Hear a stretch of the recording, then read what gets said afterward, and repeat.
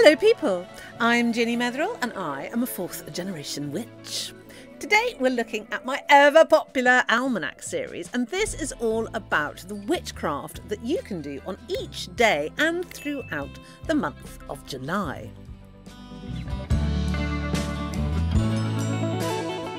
Always with these videos, what I'd like to do is to give you a general overview of the witchcraft trends that run throughout the month of July. And then we will turn to the individual days and look at the nitty gritty detail and what witchcraft you can do on which day. So, with that said, let's start with our general overview. July is the last month of summer. I know this sounds contrary to popular belief, but Summer has always been defined in the old calendars as the month of growing and maturing, whereas autumn are the months of ripening and fruit setting, and so this is uh, technically the last month of summer. The last month of summer was the time when people, our ancient ancestors, would look to sea travel because this is the safe time to travel. Now, with sea travel comes an awful lot of complications. You have to fight mermaids, you have to fight sea monsters, you have to get there, so navigation's a problem, you have to um, fight the weather. And so, this is the time when you would make obeisance to the sea in order to calm those and give yourself a fortuitous journey.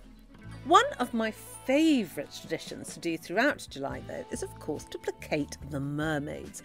Mermaids, those are creatures of legend who will lure you onto the rocks if you displease them, but lead you into a safe harbour if you placate them. And what people used to do in olden times was to simply make a garland of flowers, and this was an offering to the sea. They might do other things as well, such as pouring alcohol into the sea. Mead was always very popular, mead being the fermented honey drink that is delicious, by the way. Make it, I promise you, you'll like it. It's like a dry sherry honey sweetness. Lovely. And when I was a student, I used to colour mine blue because I thought it was cool and still do. Or you might simply bless your boats and ask the mermaids to take care of them. We have an awful lot of sea traditions, don't we? One of the most famous that I'm sure you all know about is the breaking of a bottle against the bow of a ship when it is christened for the sea. And it's very important that the bottle must break and the liquid flow because otherwise it's going to signify bad luck. We have a lot of seafaring traditions, and a lot of them use knot magic. And this is where essentially knot magic developed from, from sailors. So some of my favourite knots are things like the Celtic love cross, where a sailor would make this beautiful, intricate knot to carry as a love token and to give to his sweetheart when he left. Other such knots are the monkey's fist. This knot is particularly wonderful. It was actually used to ward off evil spirits. I mean, this is why people now use it as a doorstop because it is anti negative forces. So get one, stick it in your door. I'm not quite sure why that would work, actually, thinking about it. Maybe it's the intent that you just put into the knot when weaving it, because it is quite a complex knot, is it not? Oh, look, I'm a poet. Maybe this month of July is why we not only look to the sea, we also have a very great affinity with wells and springs at this time. This making offerings to your spring or your well, which is the vital life source of energy for every person and animal on this planet, dates back so many years, and we can see it today in the well dressing ceremonies that are still carried out throughout Derbyshire and the northern counties of the UK. This is where they take panels and put clay onto them and then make intricate patterns with petals showing varying scenes. And here are some examples that I'm talking about here. This well dressing is simply a sort of overspill from the times when we would make offerings, pour libations, and go and generally placate the spiritus loci, the spirit of place, at our local well, because it was, of course, believed that most springs, and many springs do, have a guardian spirit.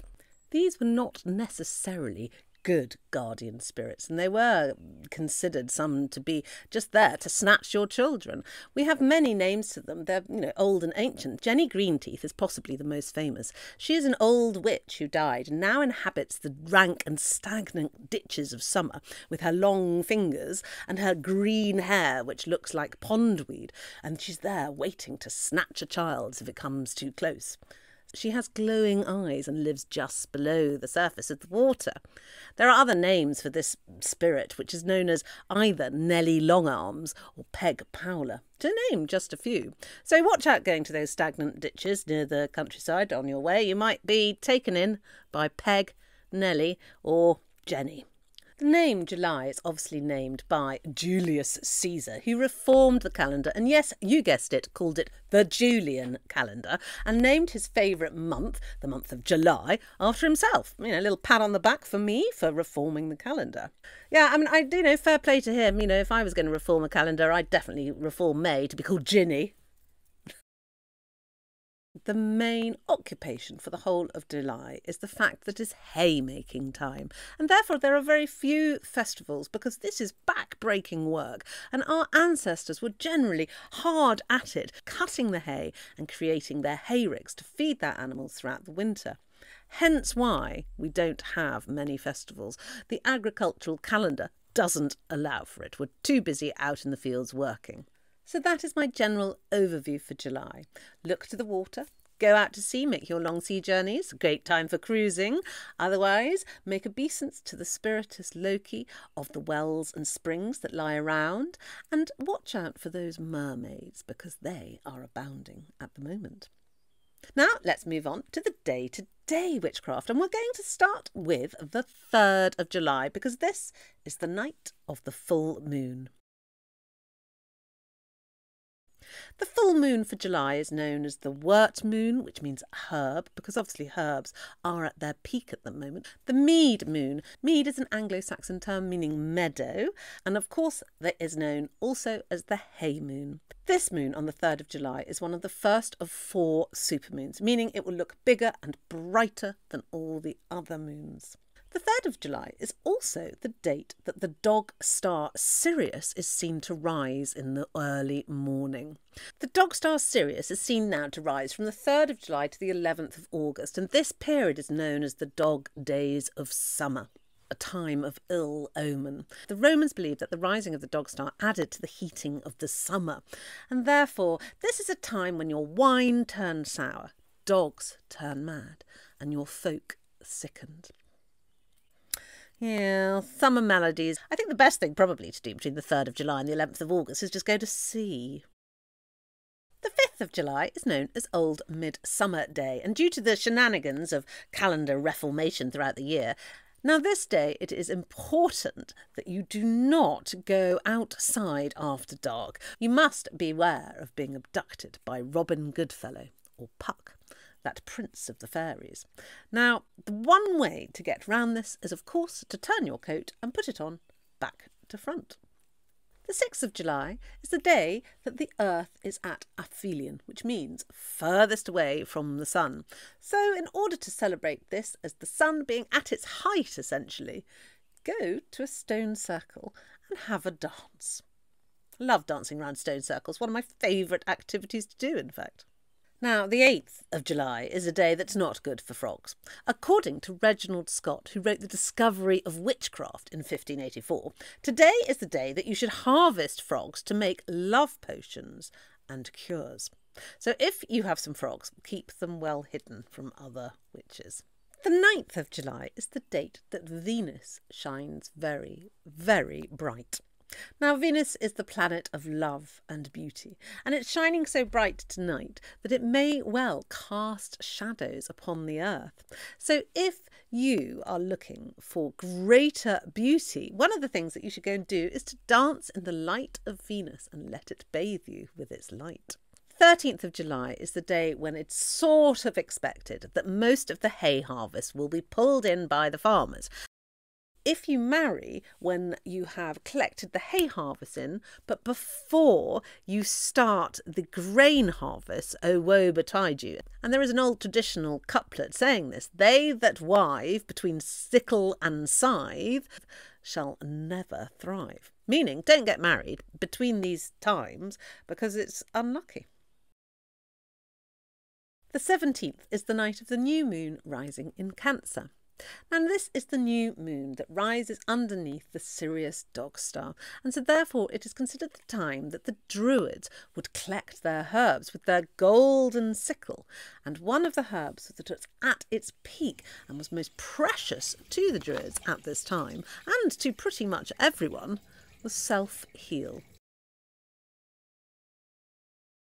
Taken as a tea, it's good for fevers. Applied as a poultice, it staunches bleeding.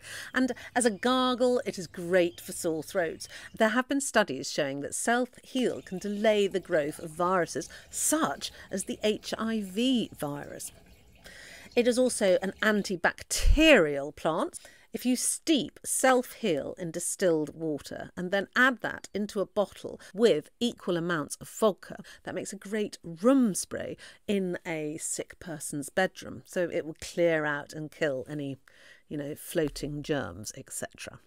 You need to use Self Heal in healing magic, so you can make a salve from it to cure anything from skin diseases, or use it when you're gargling if you've got sore throats, or in your room spray. Just put your intent on it. It creates a great base from which to work your healing.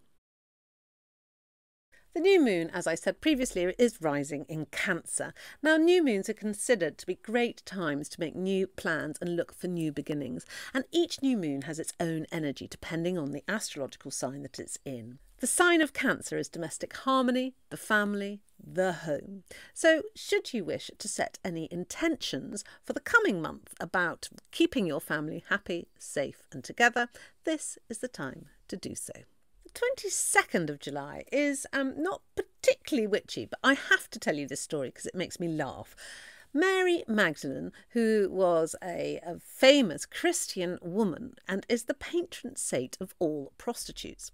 Now, what makes me laugh about this is on this day, the church previously would punish anyone who had been prostitutes in their community by forcing them to stand in the church door wearing a white sheet and with bare legs and feet. Now, this was just an opportunity for the prostitute to advertise her wares by standing wrapped provocatively in a beautiful white sheet and displaying her shapely legs.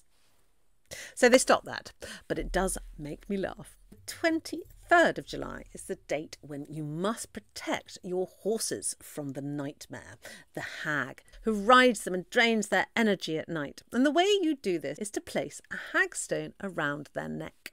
You hang it from their neck, and the hag is therefore unable to climb upon their backs and ride them through the night. And this is where the term nightmare, mare being a female horse, comes from.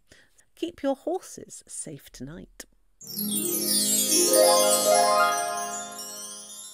Don't forget, my Patreon meeting is coming up in July. Last month we did telepathy and it was so cool. I literally, we had so much fun doing it and everyone was really good at it. Out, out of all the meetings, I think there was only two people who were unable to get it for very witchy reasons, may I say. Come and join, and you can learn these tools too. I promise you, you will enjoy it. Go to patreon.com forward slash Ginny Metheral, and they'll tell you everything there.